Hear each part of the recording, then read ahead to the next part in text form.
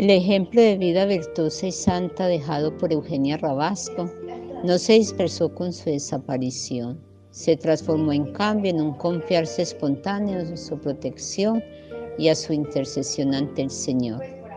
Al interno del instituto, el recuerdo de la fundadora se expresó no solo en el hablar de ella, recordar sus virtudes, las enseñanzas como puntos de luz para el propio camino, en el celebrar los aniversarios y el onomástico, sino también en la redacción de memorias para fijar los momentos sobresalientes de su vida y los ejemplos de empeño espiritual y apostólico. Contemporáneamente se hizo urgente la petición de una biografía. Se pensó también en una futura causa de, beatificación de la fundadora, tanto más que llegaban relaciones de gracias atribuidas a su intercesión. La fama de santidad y de favores es el motor de una causa de beatificación y canonización, pues como se suele decir, donde hay fuego hay humo. Cuando los comentarios se extienden, se ponen por escrito y se difunde la fama de santidad de un cristiano, los testimonios ponen en evidencia la heroicidad de las virtudes y la heroica armonía de las mismas, es decir, la perseverancia por amor a Dios y a las almas hasta llegar a la santidad. En este espacio nos encontraremos con los testimonios de varias personas que conocieron a la beata Eugenia Rabasco, y pudieron conocer de primera mano la acción de Dios en ella, haciendo de su vida una luz que ilumina el mundo y nos motiva a ser también instrumentos de su gracia.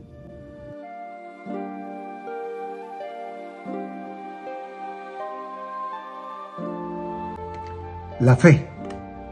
Nuestra Madre Eugenia llevó esta virtud a un punto heroico, entendiendo siempre y enseñándonos a entender que era la garantía de lo que se espera y la certeza de lo que no se ve.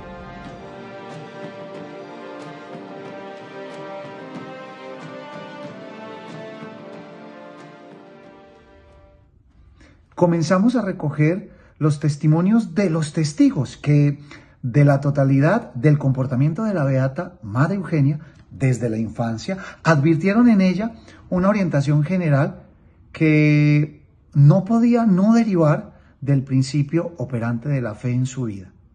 Escuchemos a Sor Camila Ramoñino a continuación. Ya desde niña supo acoger los cuidados que se le ofrecían, es decir, desde su obediencia y sumisión y con espíritu de piedad. Podrá parecer excéntrico, pero en el contexto temperamental de la edad es muy elocuente esta otra declaración.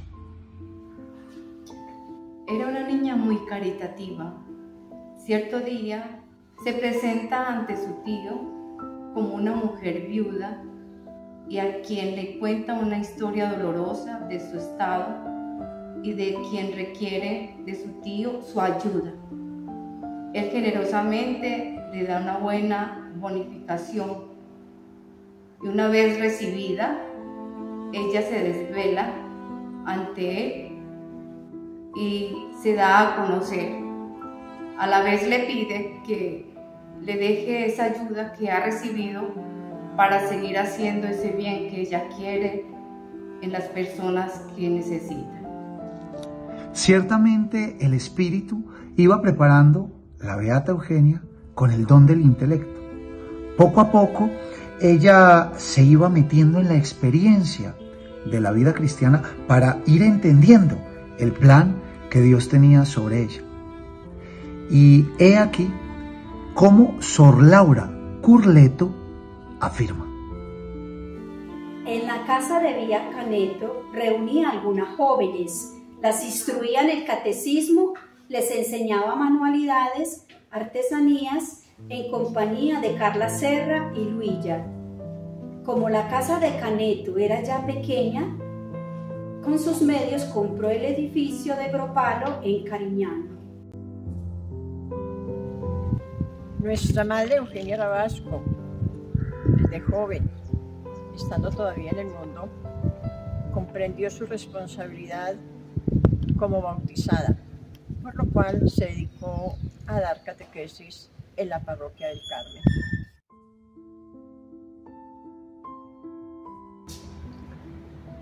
Al principio, Madre Eugenia recibió de personas de su rango aristocrático muchas, pero muchas burlas y desprecios por haberse entregado a esta vida de humildad y de renuncia.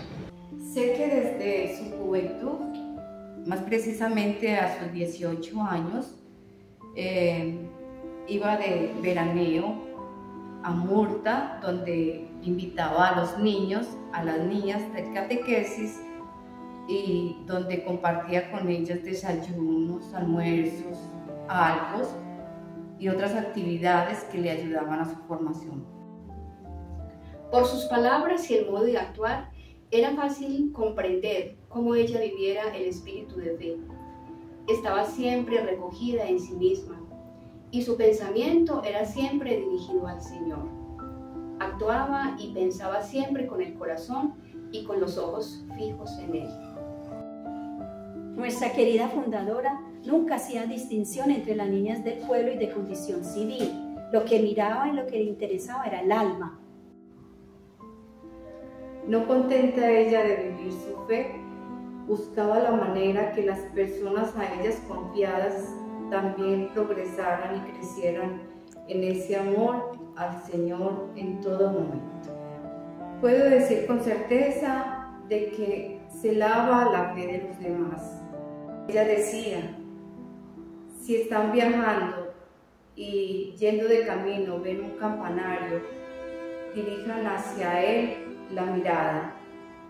Y si ven paisajes, toda la creación, alaben y bendigan a Dios por todo lo creado.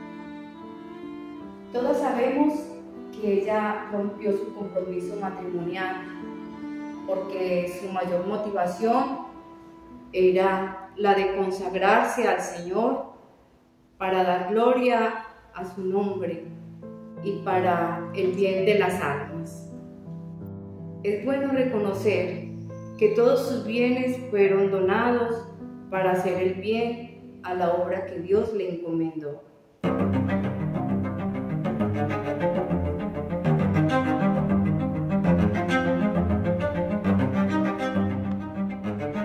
La virtud teologal de la esperanza nos enseña a aspirar a la vida eterna y a poner nuestra confianza única y exclusivamente en las promesas de Cristo. Y esto lo entendió muy bien Madre Eugenia.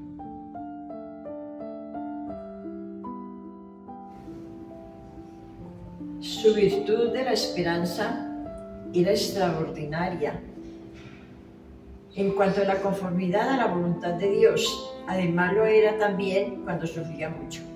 Madre Eugenia en las dificultades oraba y hacía orar, y siendo necesario, mandaba algunas donaciones a los institutos pobres pidiendo oraciones. Una expresión que repetía constantemente era, Señor, en ti espero, no quede yo confundida eternamente. Ella me animó a nunca desanimarme, porque el bien nunca se pierde y el fruto se verá después. Ella nos animaba siempre a confiar en Dios, a no desanimarnos.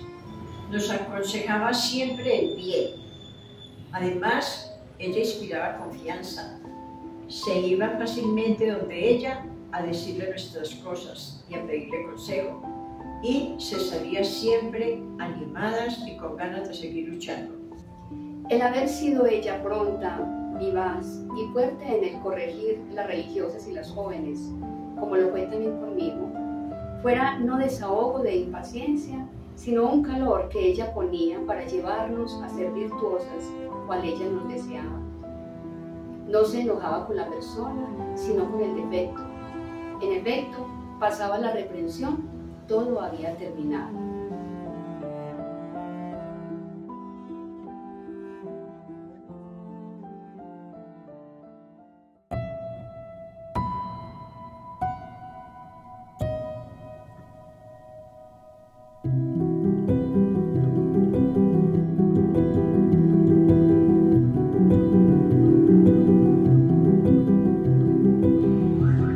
Esperanza y amor. De todas, la más importante es el amor. Y esta virtud teologal nos enseña a colocar a Dios por encima de todo. Dios es el centro de nuestra vida, con Dios todo, sin Dios nada. Y por supuesto que esto nos lleva a un amor hacia el prójimo, así como nos amamos a nosotros mismos. ¿Y quién mejor que Madre Eugenia supo entender y asimilar en su vida esta virtud teologal? Nuestra querida fundadora nos decía, te pongo entre las manos el santo crucifijo, contémplalo un instante y piensa qué cosa puede ser preferida a un Dios crucificado por su criatura. Un Viernes Santo fui a visitarla, la encontré casi llorando. La respuesta a mi saludo fue, hoy es Viernes Santo. Apoya con frecuencia tu frente al crucifijo y piensa en su pasión. Madre Eugenia Rabasco decía que para Jesús sacramentado no hacía y no se hacía nunca lo suficiente. Regresando de cualquier viaje suyo, traía siempre alguna cosa que decorara a Jesús sacramentado, como un cáliz, un encaje. Yo la escuché orar y oraba con tal confianza y calor como si viera al Señor. Por amor a su Dios, buscando su gloria, lo entregó todo. Su caridad y su apostolado eran evidentemente entendidos para la gloria de Dios. Como hija amada de Dios, Madre Eugenia sentía gran amor y predilección también por los pobres, a los cuales visitó y ayudó en sus momentos propios de necesidad nuestra Madre ejercía también la caridad con sentido de comprensión y compasión, especialmente con las jóvenes. Nuestra amada fundadora desde muy joven tenía una gran devoción al Sagrado Corazón de Jesús. Para ella, la fiesta del Sagrado Corazón de Jesús era de gran solemnidad y también la clausura del mes de junio. También era muy devota a la Santísima Virgen María, la cual quería honrar con su oración y con muchas fiestas, en especial el Día de la Inmaculada Concepción, aniversario de la fundación del instituto, que declaró fiesta principal de la congregación. El amor y la devoción a la Santísima Virgen era sobresaliente en su vida sus métodos educativos, recuerdo que pedía al profesor de religión de asignar a las alumnas trabajos marianos, los cuales luego venían premiados según el mérito.